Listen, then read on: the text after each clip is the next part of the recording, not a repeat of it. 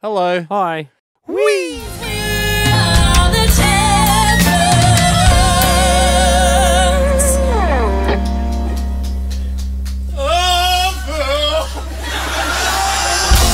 I was really looking forward to singing that last No, line. you weren't. though. Did. I End of the cannot song. believe you stole the it. lead singers.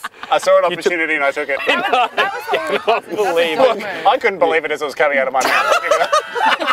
I realised what I was doing. I It must be like it on your face. it Your must be- eyebrows have never been higher. it was a crime of convenience, really. the guy. You're an opportunist. It was a crime of opportunity. It was a You're crime of arrogance. I just saw it there. There was no For intention. dramatic effect. Why were Have you? You were looking right at me. Idol? You were looking right at me, and I'm sitting there going, "Well, what do we do? Do you want me to sing it?" I think that's what you're No. saying. This conversation continued, and we eventually got down to voting for the worst person in the band. Let's move on. To the vote. Let's, vote. let's move to the vote. Uh, my vote's for you.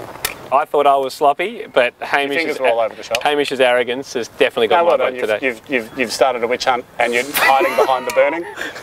Ricky, who would you like to vote for worst in the band? Worst in the. This is Yeah. this is a lot. Um, Go with your heart. Yeah, you, you, She, she's have turning her neck towards Hamish radio. Cuban.